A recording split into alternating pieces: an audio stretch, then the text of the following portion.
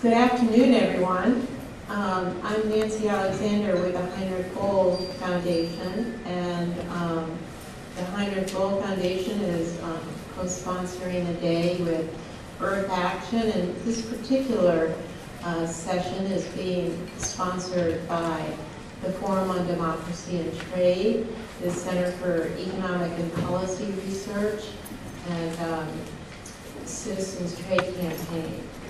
And it asks um, basically about what the prospects for change are in Obama's international economic diplomacy.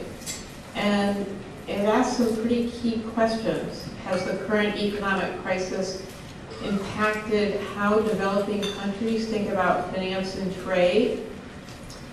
If the current crisis was partly triggered by radical financial deregulation and the shrinking of national policy space through new trade commitments, why are world leaders intent on signing more agreements and finishing the Doha round of World Trade Organization talks? What are the implications of a massive recapitalization of the International Monetary Fund? For those of you that um, review the outcome of the London summit in April, the London summit, which was comprised of the group of 20 countries and um, several others in addition to the 20, the London summit stipulated that uh, the IMF's resources should be almost tripled. And so some of the events today have been asking the question, should uh, the IMF get this massive recapitalization without, at the same time, or before getting this recapitalization, having a more democratic governance structure, greater transparency, greater accountability. Um, the, the session also asks, what are the prospects for countries in Latin America to pursue alternatives to the IMF and free trade agreement policies?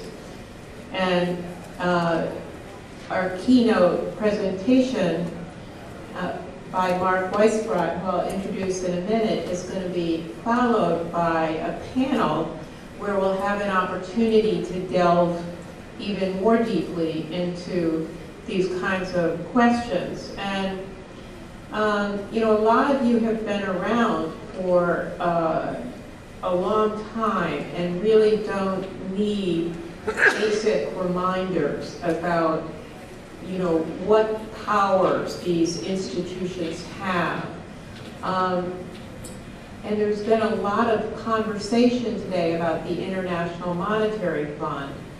And I just want to say one thing, and Mark may enlarge on this in his presentation, that people should remember when we discuss the IMF, and that is that it is head of a financial cartel and what does that mean? That means that when a country is not in compliance with the targets that the IMF sets for it with respect to fiscal deficits, inflations, um, inflation, monetary policy, and so on, then it is, in the language of the fund, that country is off track. Now, what does off track mean? Off track means that the IMF is basically giving a black mark to the, to the country. And when that happens, a whole sequence of events happens. And that is that not only government donors who are very critical to especially the poor uh, poor countries. Two-thirds of all the official development assistance that's received by poor countries is in the form of official development assistance that comes from governments, uh, especially European governments, but also U.S. Agency for International Development, as well as the concessional arms of both the IMF and the World Bank.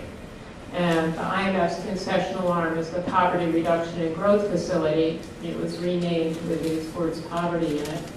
Um, and the World Bank's uh, concessional facility is called the International Development Association. So low-income countries are extremely dependent upon the rating that they get from the IMF.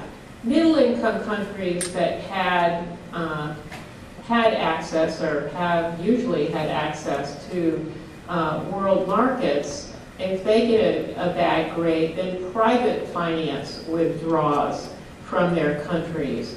And so basically, this is a financial cartel. And so when people talk about the conditions of the IMF, they're referring to conditions that must be met for money to flow. So since we've said a lot about the IMF, that's a basic, and um, Mark will give us a much deeper and broader picture. And uh, Mark has received his PhD in economics from the University of Michigan. He is co-author with Dean Baker of Social Security, The Phony Crisis, and has written numerous research papers on economic policy. He writes a column on economic and policy issues that's distributed to over 550 newspapers by the McClatchy Tribune Information Services. His opinion pieces have appeared in the Washington Post, the Los Angeles Times, the Boston Globe, and most major newspapers. And I especially want to commend to you um, the wide swath of papers that uh, the Center for Economic and Policy Research have um, displayed on the table outside and draw your attention to one, empowering the IMF should reform be a requirement for increasing the, the fund's resources. Another, IMF voting shares, no plans for significant changes. And um, many others that are deserving of your, your attention. And uh, with that, I turn you over to Mark, who is co-director of the center, and he'll be speaking on the global economic crisis and its implications for developing countries. There could be no better person to hear this story from. Give you Mark.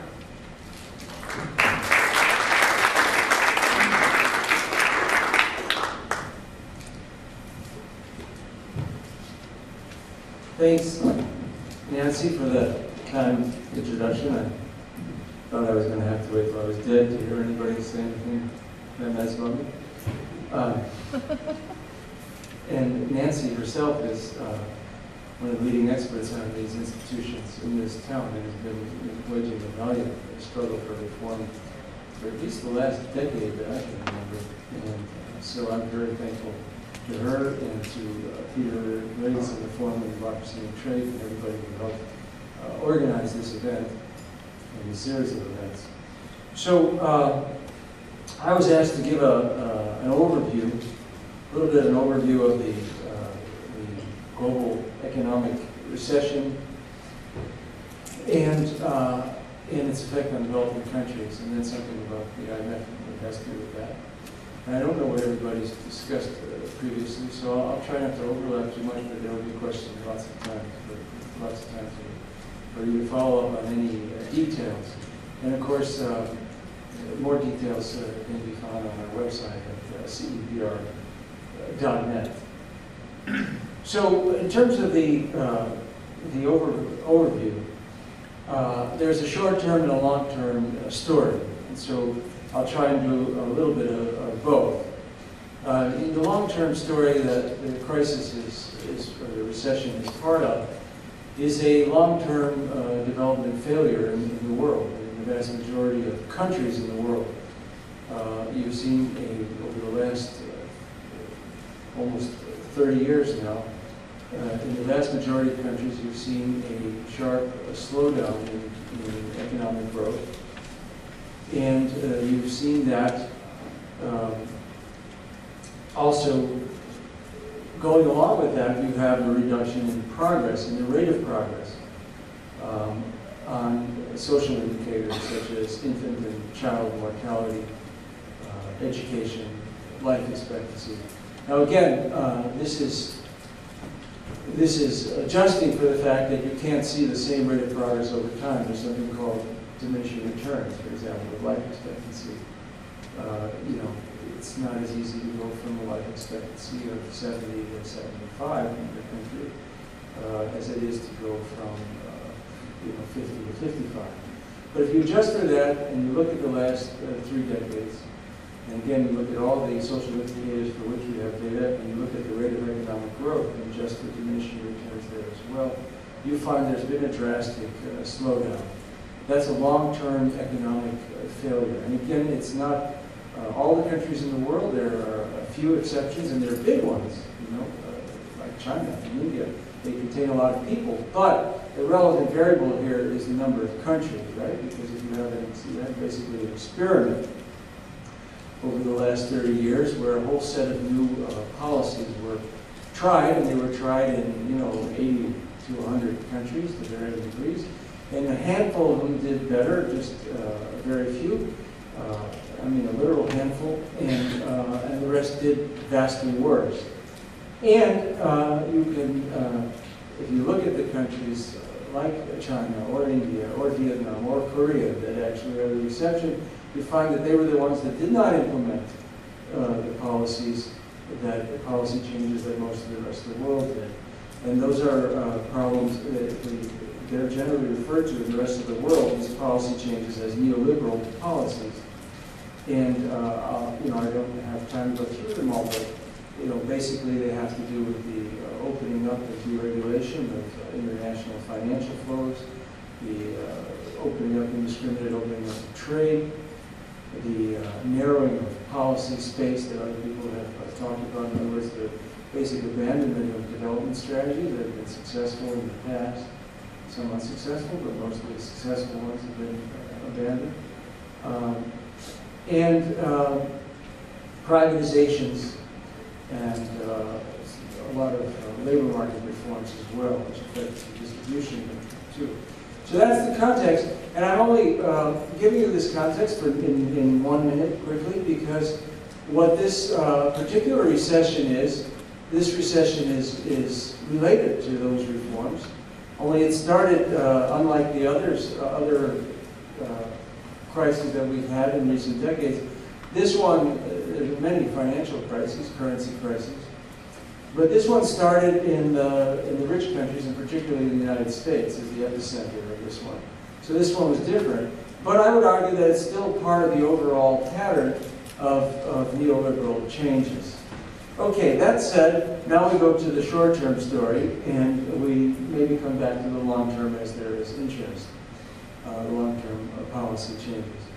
So the short-term story is first uh, that the reason I use the word world recession instead of financial crisis, well, the word crisis is kind of overused. Uh, to me, a crisis is like, you know, what you had in Argentina in 2001, when five presidents resigned within a few weeks. You know, um, you know so in a lot of ways, this isn't a crisis. Uh, uh I think it's a little bit overused um, because, it, you know, um, we could be in this recession for years, and Obama might even get reelected in 2012, you know, even if everything is still messed up.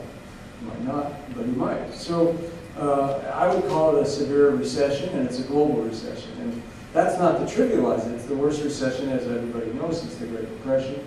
But more importantly, I'm not using the word financial crisis because I don't think it's primarily financial. We've written about this quite a bit at Secret.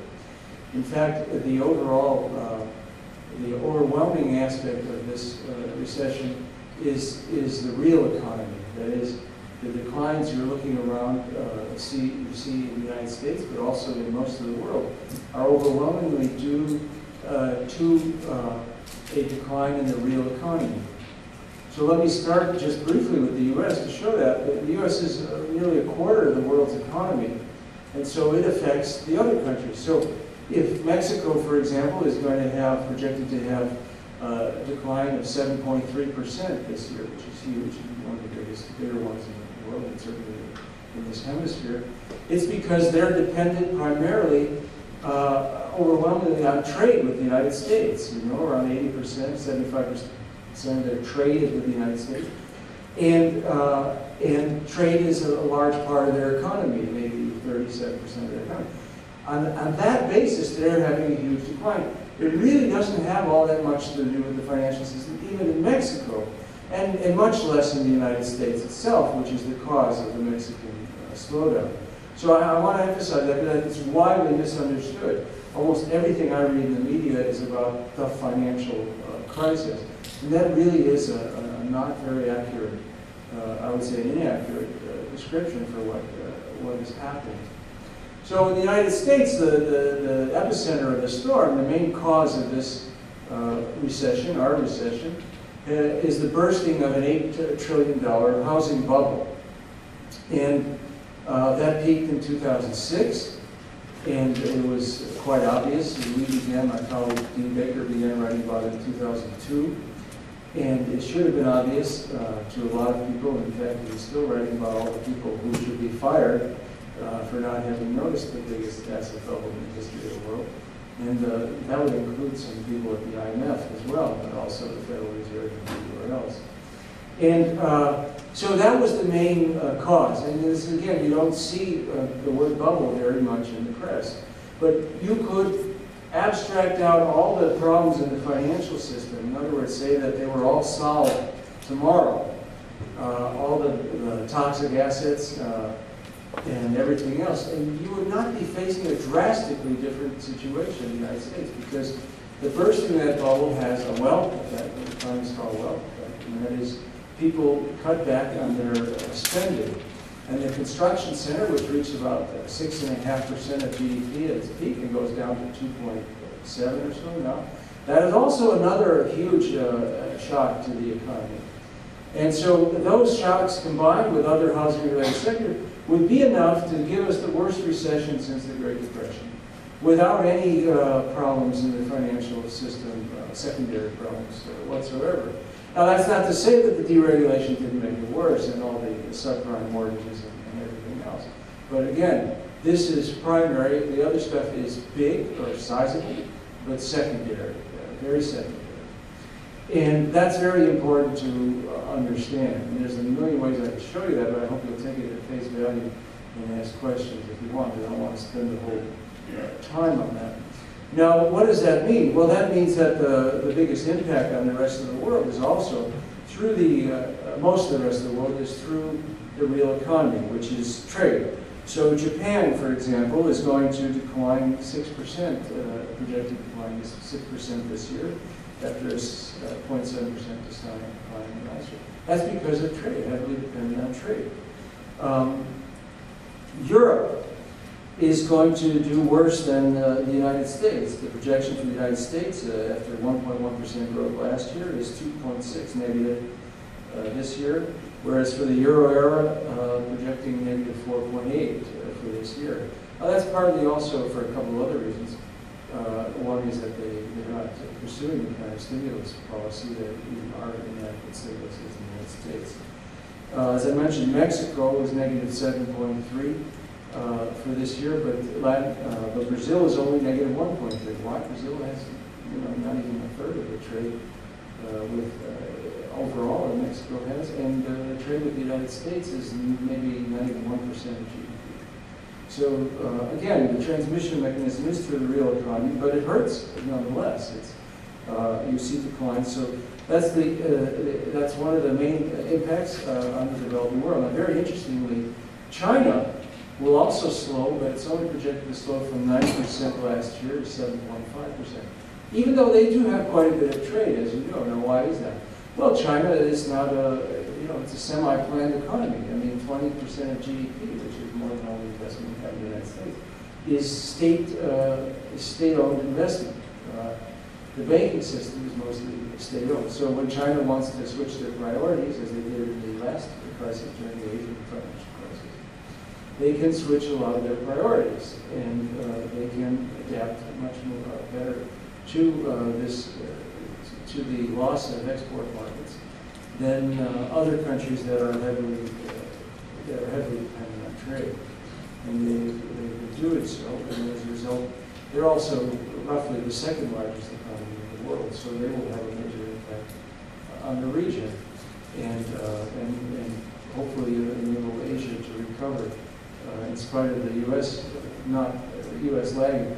The U.S., you know, uh, again, I'm, I'm speaking mainly on developing countries, so I don't want to focus much on this, but because it does have a big impact, it is important. I think the, the United States is um, is still in a lot of trouble. And, uh, you know, we have a little, on our website at CEPR, we have an honorable economist that have called for the, uh, for a third stimulus, uh, because the last one was uh, quite inadequate. It really amounts to, uh, you know, not even 1% of GDP if you knock off the cuts in, in state and local government spending and tax increases. Uh, you- You've got very small uh, stimulus for 2009 and 2010. And uh, the last economist that we added to the list was, uh, to his credit, uh, Olivier Blanchard, the chief economist of the IMF, who announced this last week that uh, countries should be looking to, to another stimulus. They're- It's the rich countries, of course, and I'm going to get to that in a minute. So, uh, so because the United States is, is, you know, until the United States uh, adopts another stimulus and a large one, uh, we don't expect any sustained recovery. You could have a positive quarter, uh, you know, some uptick, but uh, not a sustained recovery for the United States. So far, President Obama is still against uh, another stimulus, but I suspect that he will change his mind as, as time goes on in the 2010 elections uh, get closer. So um, that's the, uh, you know, the, in terms of the uh, overview, uh, Africa has been hit very hard. Mainly, again, uh, another transmission mechanism, which I haven't mentioned, is commodity prices. And unfortunately, those were affected very much by speculation, both on the upswing and on the downswing. Uh, they recovered a lot this year, so I think Africa will be better off for that. But their growth slowed from 6% to 1 percent from 2008 to 2009, so they were very hard hit. Latin America is not projected to be hit, uh, well, they actually are projected to be hit fairly hard, um, uh, but again, it really varies by country. Their projected growth is negative 2.6 for this year, but I have to also qualify that these are the IMF projections I'm using, and they've been wrong about Latin America many times uh, for many years, uh, and usually in that, uh, in that direction. Now, what about the, what about uh, the uh, developing countries? And, and I haven't even talked about the human cost. You know, there are various estimates in terms of the increase in unemployment, the increase in poverty rates. It's in the tens of millions, maybe hundreds 100 million, maybe over 100 million uh, for poverty uh, in the world. Uh, and the um, and, and this is, you know, obviously a huge impact. And many people, including the uh, people at the UN uh, commission that Stiglitz headed, uh, President Lula da Silva of Brazil, have pointed out repeatedly that this is particularly unjust uh, because the developing countries were not the source of this crisis. It really is the epicenters in the United States and the other rich countries. And so that's very important to keep in mind. Now, the, uh, and I think it's, you know, the UN Council uh, has, uh, the Stiglitz Commission has made a, a, very strong case uh, that the United Nations should be uh, the center of reform efforts uh, for uh, the global economic system going forward. But unfortunately for us, the power, the financial cartel that Nancy described in her introduction still belongs to the U.S. Treasury Department, and they don't intend uh, to give that up at all. In fact, we had a huge battle uh, in Congress. Has anybody talked about this already, or should I give a couple of details? Details. So we had a big bat- battle in Congress uh, in the last month uh, to try and attach some reforms to the $108 billion that uh, Congress approved for the IMF. And we mostly uh, failed. There was some language that came out of the conference report that included uh, things that we wanted. Uh, and I'll get to that in a minute, but the point is, we were trying to attach some language that would prevent the IMF from uh, some of its worst abuses. And this has always been our strategy at CEPR for the last 10 years and beyond, before that, before we formed CEPR. Um, we call it harm reduction in dealing with these uh, powerful institutions. That is, to try to reduce the harm that they do, even though you're also trying to reform them and get them to do good things, you have to recognize that over the long term, the most powerful impact that, uh, that non-governmental organizations can have, well, I should say, in the foreseeable future, not necessarily the long term, uh, is to reduce the harm that they cause because they have they can do enormous damage. And uh, so our efforts were, uh, this was a harm reduction effort to attach conditions. Um, first of all, to say that they, they shouldn't, uh, they can't ask governments to cut healthcare and education spending, for example. To, say that they can't um, uh, impose uh, contractionary, or what Keynes called pro-cyclical um, economic policies, macroeconomic policies, that is, uh, cutting spending, raising taxes, interest rates, cutting the real money supply, that they shouldn't be able to, allowed to do that uh, in countries that had, say, less than 2% growth over the last year. And, uh, and then some democracy reforms that their agreements have to be passed by uh, parliaments, which also limit some of the more abusive agreements. And uh, in the bill that passed, uh, well, it was an interesting battle because the Obama administration attached the spending to the war spending bill, war supplemental, I should say, appropriations. And uh, they got it passed, uh, but it was a real fight. I mean, the people, the groups are working on it, and I have to give a lot of credit to a lot of groups, especially the peace organizations who were against the supplemental, uh, not only because of the IMF spending, but also because of the wars. Um, and they managed to get 32 Democrats to hold their ground. Republicans voted against because they didn't want the IMF money on the, on the war spending. And, uh, and uh, but it squeaked by with three votes, and the, uh, they got it. But it took a lot of, it took a, quite a, a fight, and it shows that people can actually have some influence. And then I, in the report language, they did include some of the language.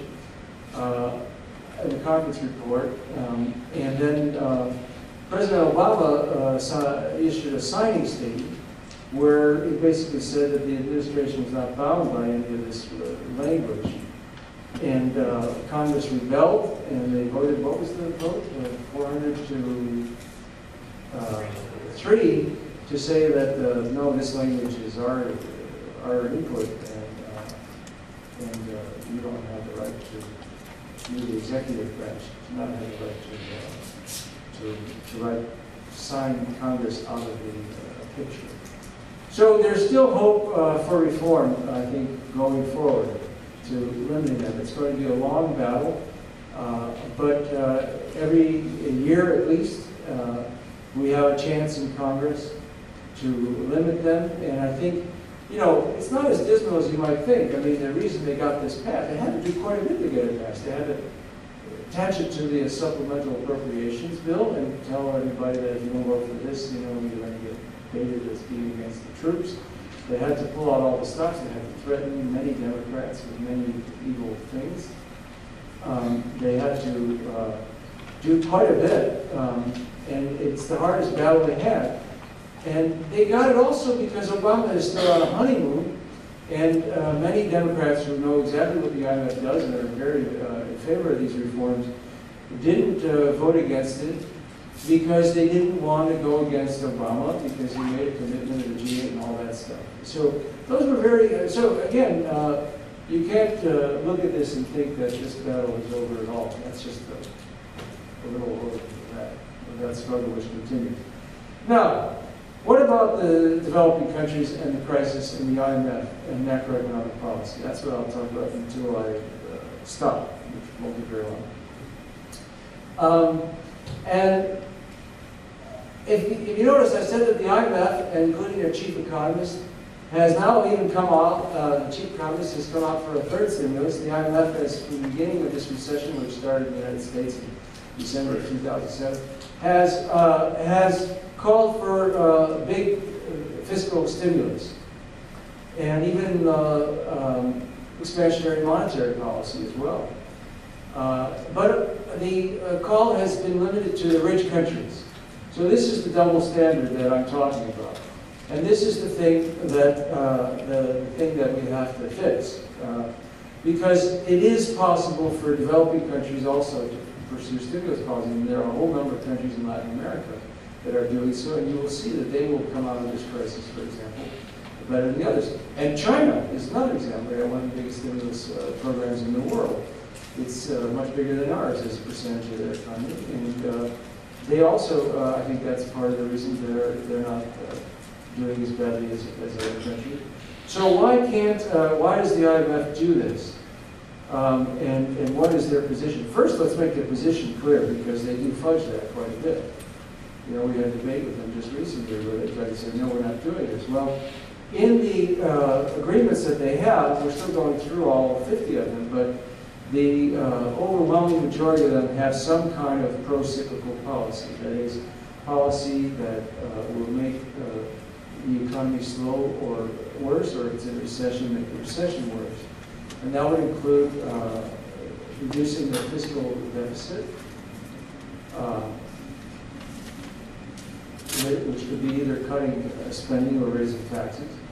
That would include raising interest rates, and that would include uh, shrinking the real money supply.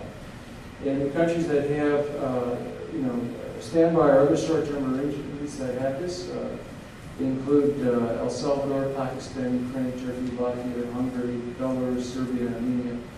Uh, those are just the ones that uh, we looked at that have these kinds of policies. But in the poorer countries, it's about half of the current agreements also have pro-cyclical uh, policies. And in many cases, I would say in, almost all these cases, really it's unnecessary. Now, what is the argument? The IMF has an argument. You know, their argument is that the rich countries can afford to have uh, stimulus policies because they either can borrow uh, domestically without causing too much inflation, or uh, they can uh, borrow internationally on the current account if they, um, and or I should say, they can borrow internationally in the United States case, of course, the rest of the world is using the dollar, so we don't even, uh, you know, have a problem running a huge uh, current account deficits if we want to. Um, and, uh, but even in other, other countries that have hard currencies, the Euro, the Euro area, Japan, they also um, can, uh, they don't have the problem that they're going to, uh, they could print money, like we've done. The Fed has created over a trillion dollars in, in, in new money since this recession began. So uh, what they're arguing is two things. One, that the developing countries have a constraint that the rich countries don't have. Namely, they have to have enough international reserves to be able to guarantee their banking system and to carry on normal trade. And if they go below a certain amount, they have a crisis. Okay? Now, what does that have to do with stimulating the economy? Well, it so happens that if you stimulate your economy, uh, one of the things that happens is you grow faster than you otherwise would, and if you grow faster, you import more.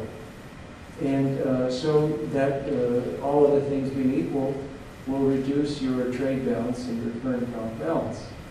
And if you're running a current account deficit, as many of these countries are, that means that it gets worse, and you start to eat up reserves. So that's their basic story. Uh, there are a couple other stories that go with it. I mean, in Eastern Europe, for instance, they'll argue that Latvia, uh, Estonia, Lithuania, uh, they have uh, currencies that are pegged to the euro, and uh, they don't want to undermine confidence in the peg, so those countries have to bear an even higher price. It's very similar to what they did in Argentina from now 1998 until the currency collapsed at the end of 2001. And the and they did a similar thing in Brazil and in Russia.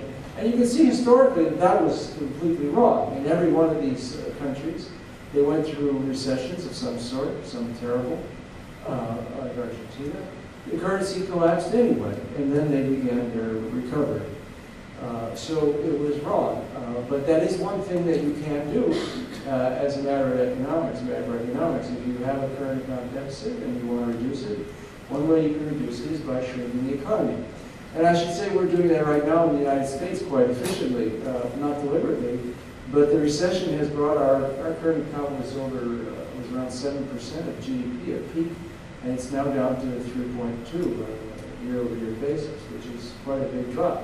Now, unfortunately for us, because of the structural uh, problems in our uh, trade deficit, it's going to shoot way back up uh, unless the dollar, unless we actually get the dollar down and keep it there. Uh, it'll shoot way back up when the recovery starts. But nonetheless, you can see how this process works. So that's kind of the IMF story. Now, what's wrong with the story? Well, the biggest thing that's wrong with the story is that that's what they're supposed to be there for, is to provide the hard currency so that these countries can, most of them at least, do the same thing that we're doing, which is to stimulate their economy in recession instead of shrink it. Okay? So that's the number one thing that's wrong with it. And I'll admit that there are borderline cases. There are cases where the current account has gone so huge uh, that uh, the country can't do what we do. Uh, although, you know, it really depends. I mean, if the IMF is willing to put up some serious money, they can do it. Uh, you know, look at Mexico, for example. The IMF has, has provided $48 billion in a flexible, in their uh, FCL, flexible uh, credit line. And the U.S. Federal Reserve has provided another 30 billion. That's a lot of credit. So Mexico, I think, doesn't really have to worry about a run on the peso. Uh, doesn't have to worry about a, a banking system collapse that would be caused uh, by, uh, you know, the sudden uh, or too large a depletion of their reserves like we had in 1995. But, uh, so if they want to put up the money, and unfortunately, the flexible credit line for the, from the IMF has only been available to Mexico, Colombia, and Poland. So you have to be a right-wing government with a very special relationship the United States seems to be the only uh, requirement for the FCL. If they were to do that for other countries, and you have to remember also that a lot of countries, look at the poorest countries in the world, what are they going to borrow from the U.S. to back from the, from the IMF the banking system? It would be very, very little. And so they could save a lot of countries. They could rescue a lot of countries instead of squeezing them. And that's what's uh, really wrong. And I don't have to, you know, I don't, I don't want to go into the whole history of what they've done, but they do have a 30-year history of, of doing this. Okay, I think I've covered the overview. Um, and uh, we have time for questions, so I can go into detail. The only last point I want to make is, is, is how important this IMF story is to the overall world economy. Because obviously the countries that are independent of the IMF, like China Vietnam or uh, India and uh, most of Latin America, um, most of the middle income Asian, Asian countries, they're going to do what they want and they're not going to be affected. But the problem is that there are still 50 agreements out there in the world that the IMF has. Some of them will be renewed. And the IMF is getting an infusion of money that it's never had before in its entire existence, never come close to this, even relative to the world GDP. It's hundreds of billions of dollars. So uh, this is an attempt by the U.S. Treasury Department and the European Union, which is their ally, uh, all in Japan too, uh, to a lesser extent, but still enough so they're willing to kick in $100 billion, to revive this institution that had lost most of its influence in the world over the last decade. And that loss of influence over the last decade, I think, in, in, in my opinion, is the uh, most important and positive uh, change in the international financial system that's taken place. Uh, it's the most important change that's taken place since the collapse of the Bretton Woods system in 1973. So they're trying a major reversal. And they won't get most of it. Like most of the middle income countries will never go to the IMF again, no matter what. But they will increase their power and influence. And since they haven't changed their economics, that's a bad thing. That's got to be a bad thing. So that's going to be a big struggle in the ensuing years. It's not anywhere near as bad as it looks if you just look at the dollar amount that they're getting.